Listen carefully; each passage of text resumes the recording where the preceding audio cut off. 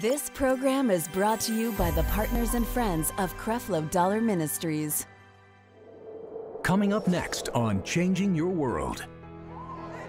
To pray without ceasing is to maintain a constant attitude of dependence upon God. It's not to pray without ceasing to maintain prayer for 24 hours. It's to maintain a constant, consistent dependence upon God. This whole thing is about dependence upon God. Everything that happened in the Garden of Eden was over dependence upon God. And when they decided to eat of the fruit of that tree, when the devil said this one statement, you're like God, you'll be like God, they thought, well, praise, I don't need to depend on him because I'm going to be like him.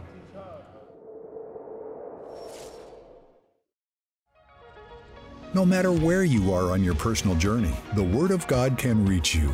At work or simply needing to hear from the Lord, tune in to World Changers every Sunday at 10 a.m. or restream at 2 p.m., 6 p.m., and 10 p.m. Eastern Standard Time.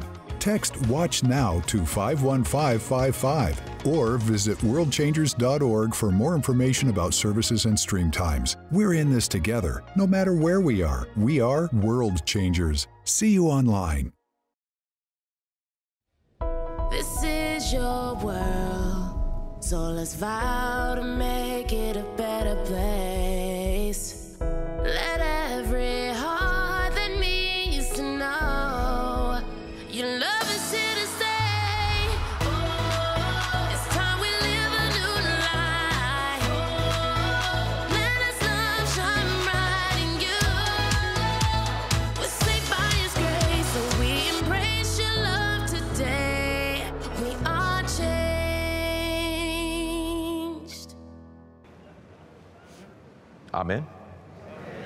All right, let's go to number four. Let's go to number four. I want to get this done today.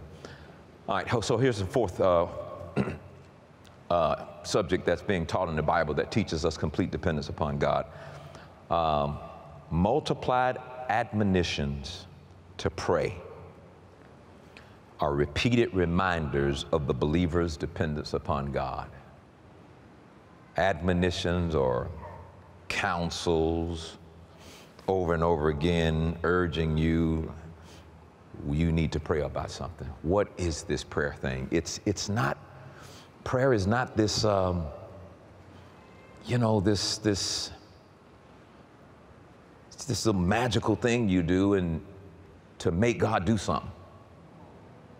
That's, that's not that's not that's not there- there are people praying all the time and and and and because of his mercy and grace, maybe some things break loose, or maybe because of the prayer of other people, but it, it, it, this is about depending on him. It's like I'm praying because I depend on him. I'm not praying because I'm desperate. That's what most people do. I'm praying, I pray because I depend on him. I pray, it's like I got to pray, not because somebody's making me pray, but because I have submitted myself to Him. I depend on Him, and part of my dependence on Him moves me to pray. It moves me to communication. Look at these scriptures with me. 1 Thessalonians chapter 5 and 17. 1 Thessalonians 5, 17, and then 1 Timothy 2, 8. Let's look at about four scriptures on, on prayer and really talk about this. This is, this is so important. I pray because I depend on God. I pray because I depend on God. I don't pray because I'm, I'm looking for something, some magic hat, uh, magic, magic thing to happen. I pray because I depend on God. All right? I depend on Him. I depend. I'm, I'm not separating my prayer from depending on God. Well, I'm gonna pray because I'm gonna make something happen. When it happens, I'll tell people I prayed. That's why that happens. No, no, no, no. Prayer is is a part of my curriculum of complete dependence upon God. Right, look at verse 17, very short. He says, Pray without ceasing. That simply means don't cease to pray as it demonstrates your dependence upon God. He doesn't say pray without ceasing, meaning once you start praying, just pray all your life without a break. That's not what he's talking about. He's talking about don't cease to pray as a result of your complete dependence upon God. I get that. I get that. That if I say I'm dependent upon God, then I'm going to pray. When I say I'm dependent upon God, no matter what people think about speaking in tongues, I'm going to pray in the Holy Ghost because the Bible says. I'm going to pray in my most holy faith, speaking in tongues. That's what the Bible says. And he says, when you do that, you build yourself up, spirit, soul, and body. So I do that. I'm not going to do it to offend anybody, but I, I, that's a part of my depending on God, especially when I just can't figure nothing out. I can't figure out even how to ask God about this situation. I go to praying in tongues. Somebody says, "How long are you going to pray until I until I get peace?" Until until there's a peace that comes over me that says, "You good?" And I and I'm I, that's a part of my depending on God. That's, my, that's a part of my depending on God. You know, yesterday, uh, I was I was sitting and getting some treatment, and, and I thought, well, I'm not doing anything. Let me go ahead and just pray. Why? Because I depend on God. There are all kinds of opportunities for you to pray. Somebody says, Well, I ain't got time to pray for an hour. Who said you had to pray for an hour? The Bible. No, it didn't. The, Jesus asked the question, He says, Could you not pray with me for an hour? He was asking the disciples the ones he said to pray. And he says, You couldn't pray for me even an hour? And then somebody else took that and say, See, you got to pray for an hour. Yeah, I'm guilty. I taught a whole series on how you got to pray for an hour. Until I got tired one morning and went in there and, and I said, Oh boy, here we go. I sure ain't looking forward to this. God, like me neither.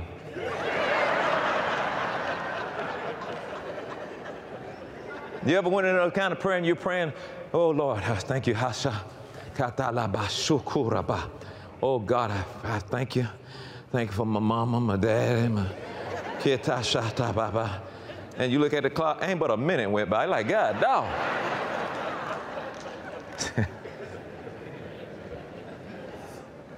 no, this is a part of me dependent upon God. Look at 1 Timothy chapter 2 and 8. 1 Timothy chapter 2 and, and verse 8. We do this because this is a part of our complete package, our complete dependence upon God. He says, I will therefore that men pray everywhere, lifting up holy hands without wrath or without doubt. He said, that's, that's my will. I want, I want them to pray. I want men to pray everywhere. He said, That's my ultimate will. I want men to, to receive my grace. I want to be able to teach all. I want that, that's my will. If, if he's telling us to pray it's got to have something to do. I pray because I depend on God. I communicate with him and he talks to me. I depend. I have to, I have to hear from him. You mean to tell me God speaks to you? Yeah. Jesus said, My sheep hear my voice. Glory be to God. He expects for you to hear. Don't let the world talk you out of the truths of this gospel of grace. Yes, I expect to hear from God. That's, that's, that's the game changer in our lives. There should be things going on in the lives of Christians that when, when unsaved people look at you, they should say, How'd you get that to happen? You ought to say, Well, uh, God told me. You mean God speaks to you? Yeah, you ought to try it. Lift your hands up. I'll lead you to Jesus and introduce you to him. Yeah, when we walk in the room, the atmosphere ought to change. Because there's an anointing on every last one of you. You're not just, you're not just Christians. God lives in you.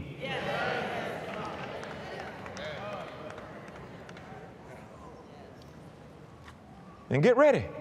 Everything's failing. This is a big setup. This is a big setup. God's setting this whole thing up so He can show out in you.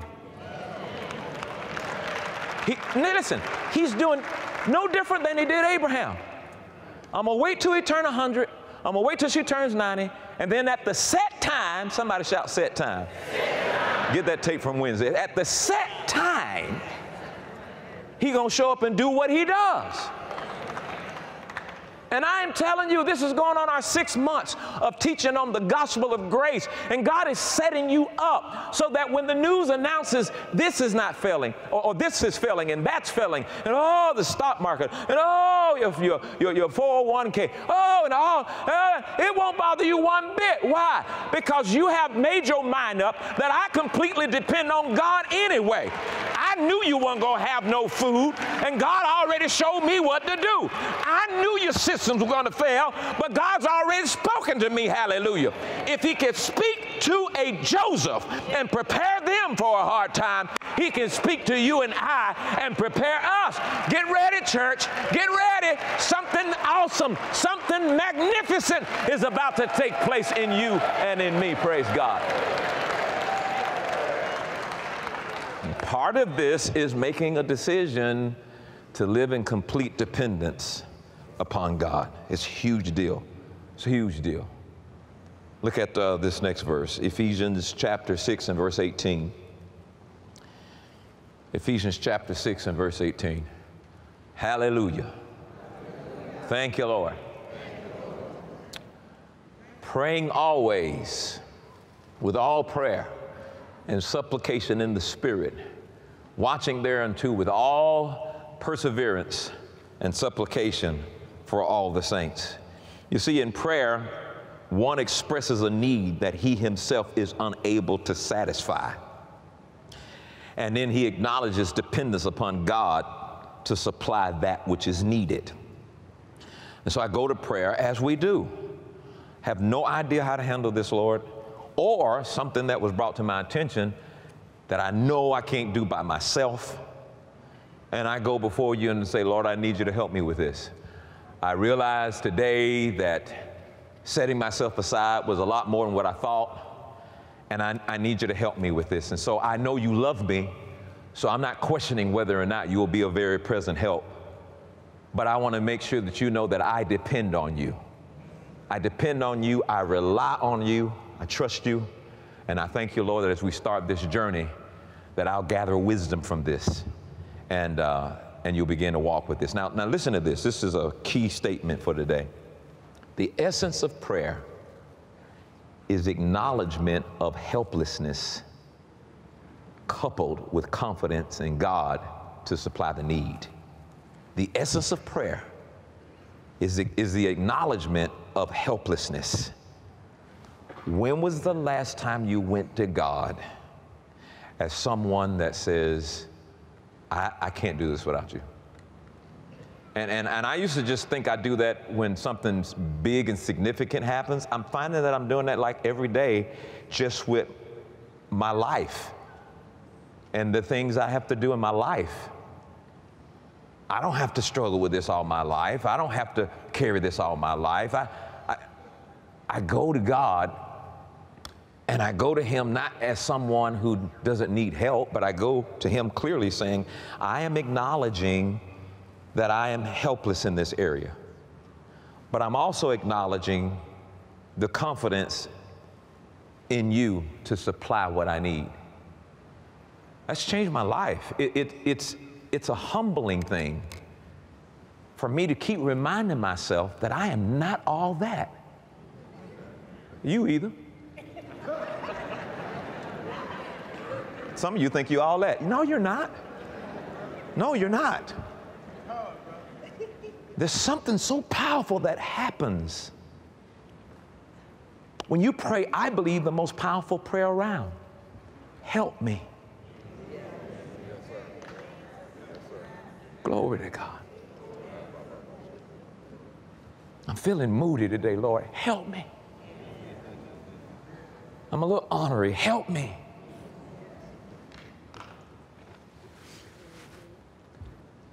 And I trust that you have the supply that I need.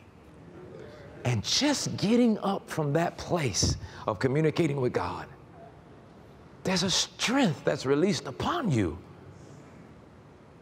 that says, I have a God who loves me.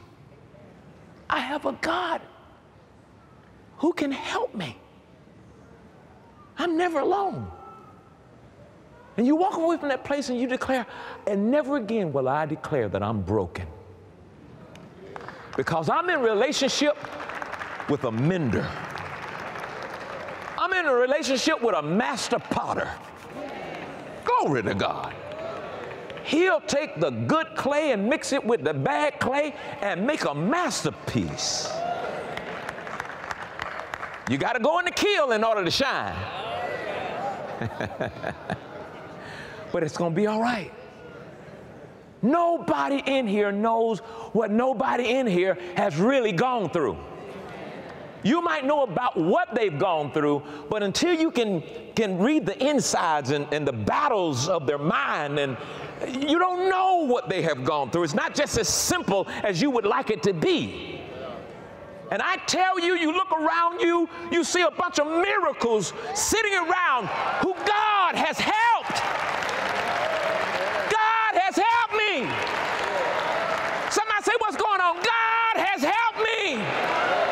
I've been helped from, by, the, by the Almighty God. And then you say, like they did in Abraham's day, Is there anything too hard for God? And you know how we are. I can be a witness. Let me be a witness. I think and I praise God that I went to sleep last night, but I hadn't slept in one week. I think and I praise God. I didn't have nothing to eat, but I looked up in the back, in the real, real back, and I found a can of poking beans. I think and I pray. You got to learn how to thank God. If you're going to enter into this time of prayer and depend on God, you got to start thanking God before you see the manifestation. You got to start shouting before anything ever happens. You got to start living that life of thanksgiving. Father, I thank you. Now, let me show you where that gets you. Let me show you where that gets you. To pray without ceasing is to maintain a constant attitude of dependence upon God.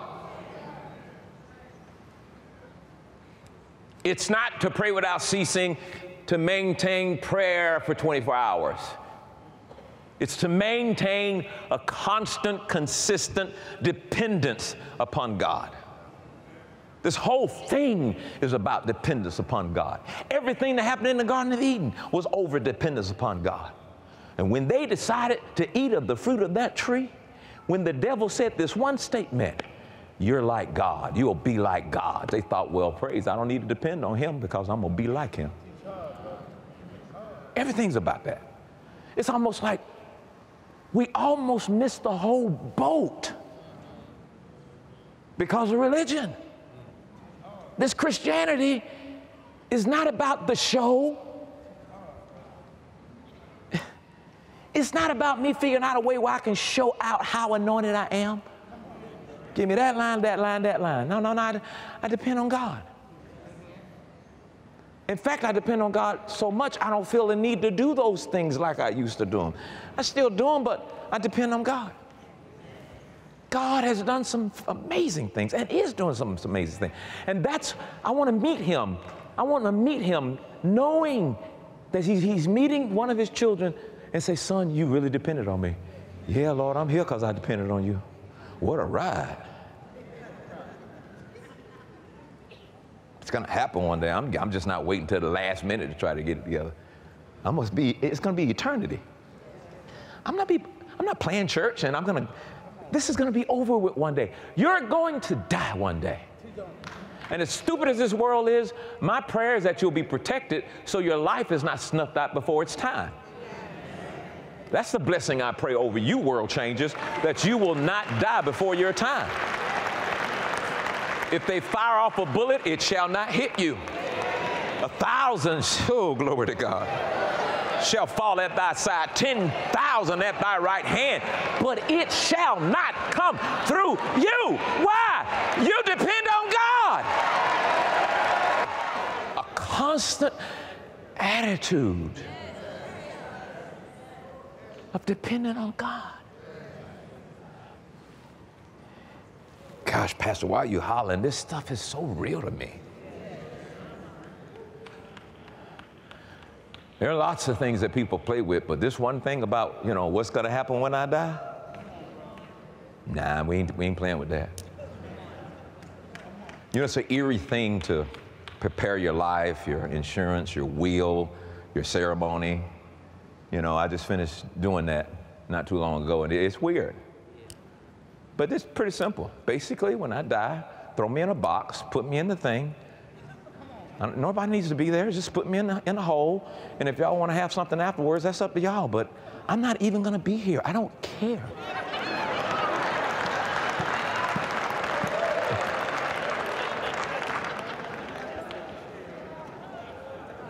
Paul said, What I, I fought a good fight and I kept the faith. Well, well who's gonna who's gonna take over after you go? Well, I don't plan on going anywhere for a minute. I mean like a long minute. I want to see what it feels like preaching grace at 100.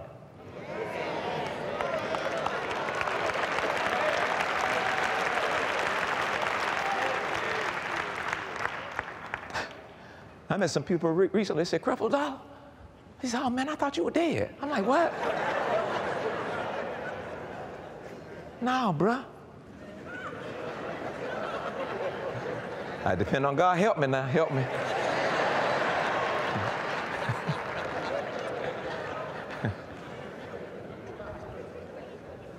this, this is the life of Christianity, man. It's it's the world seeing and watching us depend on, on God, not ourselves. We're not trying to be like the world and try to outdo them.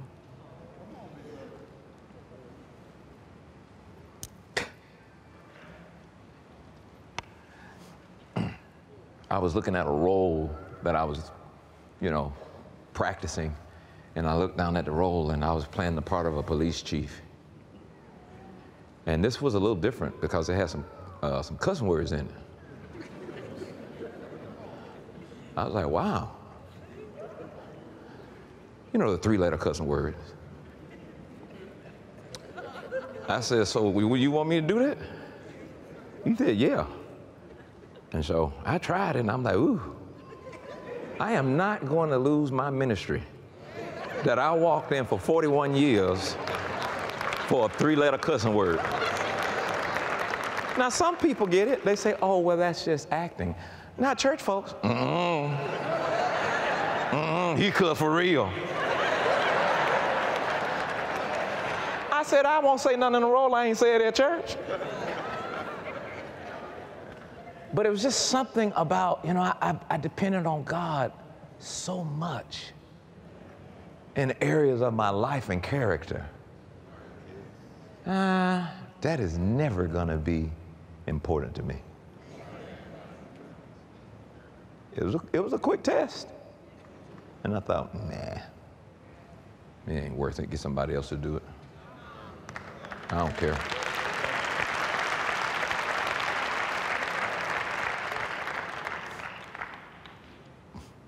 Now listen to this. Go to Ephesians chapter 5 and 20.